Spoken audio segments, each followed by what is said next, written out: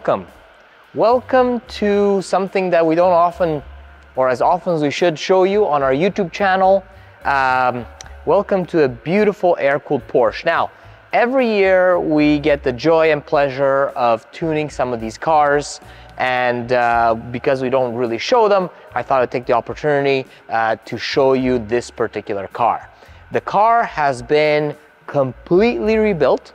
It's a 1979 Targa SC and a wonderful job uh, in doing so done by Juan's Auto Service, our long-term friends and partners. Uh, we work with them uh, on tuning these cars and setting them up for EFI. Now, I mentioned EFI and I mentioned tuning because as these cars age and as they get rebuilt, you got to ask yourself, well, you know, what do I want to do in terms of the engine, in terms of the fuel setup, in terms of the air intake, and so on. Do you want to stick with a CIS system or do you want to go to something that's more modern? And this is what we have in this car. So it is a 3.2 liter engine uh, it is uh, completely redone, fresh by Juan's Auto.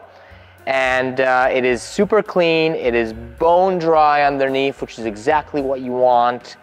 And it is set up with one of the Razin kits. So Razin is no longer, the original Razin is no longer making uh, these kits.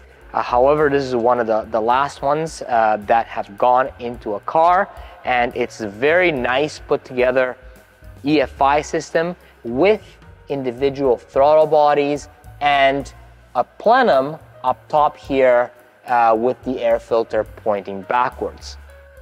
It is a 3.2 liter.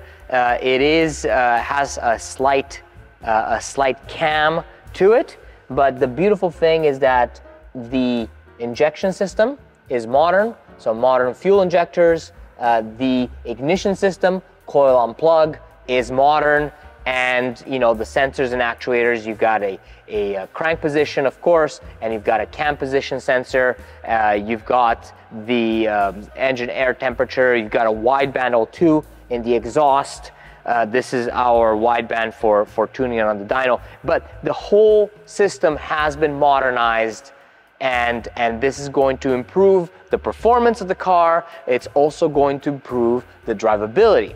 But before you get all those improvements, these cars need to be tuned. You see on our channel a lot of the tuning that we do on modern cars where all the drivability has already been done, has been dialed in by the OEM, and we mostly focus on the performance aspect of it.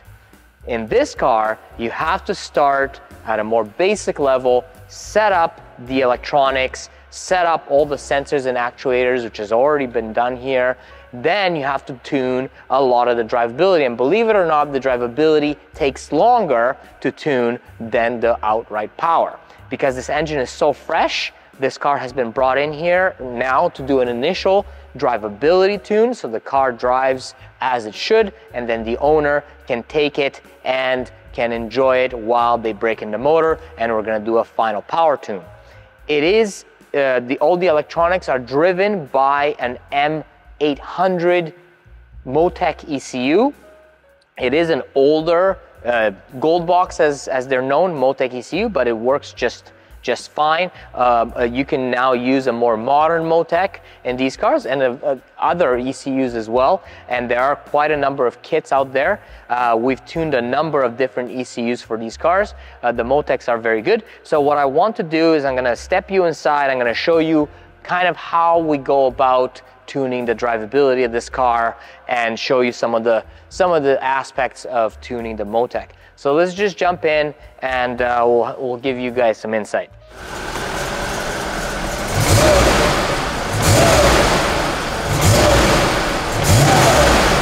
Uh, we've connected to the ECU here, the, the Motec, and uh, I'm just going to wait for these uh, this O2 sensors to warm up here, our lambda reading.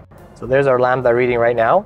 And um, the, the basics of tuning uh, a car like this is to dial in your fuel and your spark uh, and, and to make them work well together so the car drives smoothly at all times. So this is a fuel table here that, that we're looking at and this basically correlates your throttle input. You can see that this uh, arrow here jumps as I'm throttling, and uh, you can see also that the um, uh, the, the red box here jumps around this table. So this is based on RPM and your throttle input.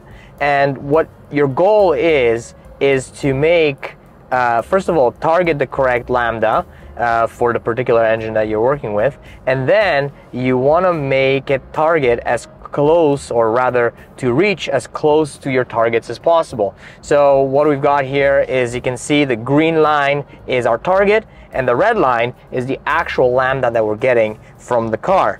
So using the dyno, um, you can also see the air fuel ratio here uh, in uh, that we're reading from the dyno itself. Uh, and we're mimicking driving this car on the road. So this is, you know, us taking off in first gear.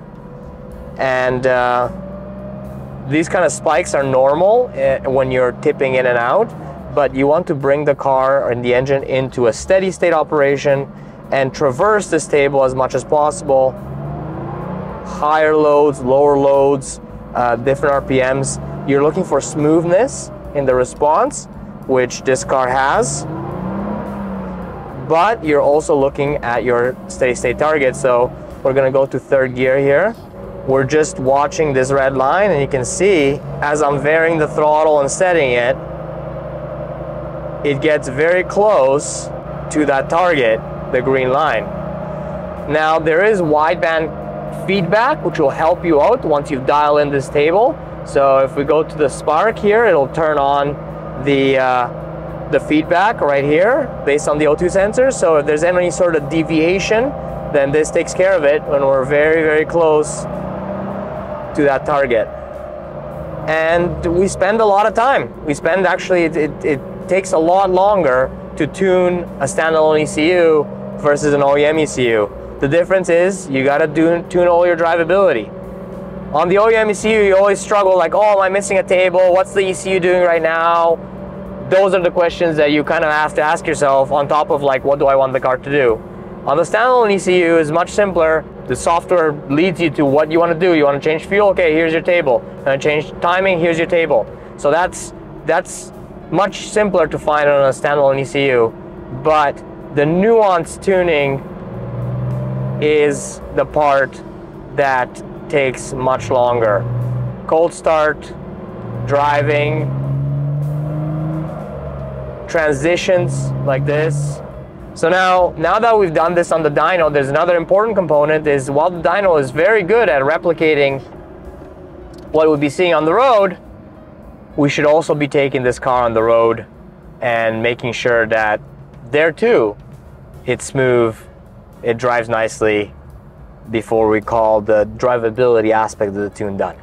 So without further ado, let's go for a little ride and ensure that the car is driving just as smoothly as these graphs indicate on the road as well. Third gear, rolling the throttle. Oh yes. You can already, already feel that torque surge. Oh, I'm so excited for the customer. Kevin, uh, getting this car back and just enjoying the rest of this breaking process and uh, the car coming back and I was really dialing in the rest of the power band because just a good amount of torque. It's 3.2 feels so nice and tight.